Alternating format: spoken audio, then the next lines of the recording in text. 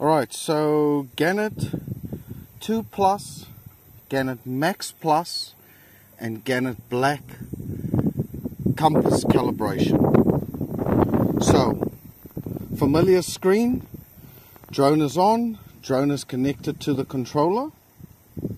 So up on the top left hand corner there's three lines that will open up a menu.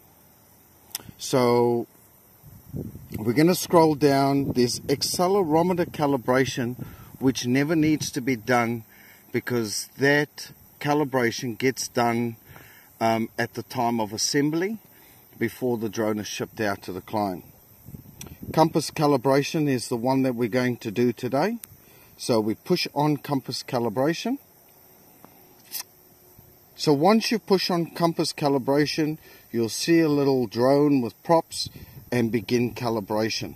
Okay, so we'll push begin calibration and it shows you a video on what needs to be done. So if you come over to the drone, the light will flash green, red and blue. Alright? So, hold that.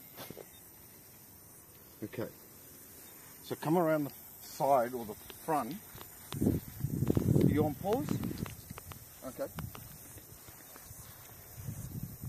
So we pick up the drone. We're going to calibrate the head and each motor. Okay? So the head, back over the head. So one, two, rotate, keep the arm out, usually pointing out to sea. One, two, next motor, one, two, rotate next motor, one, two, next motor out to sea, one, two. So what we're watching for on the controller is the download bar on the top. And we calibrate the drone doing each motor, each head until the drone says go fly.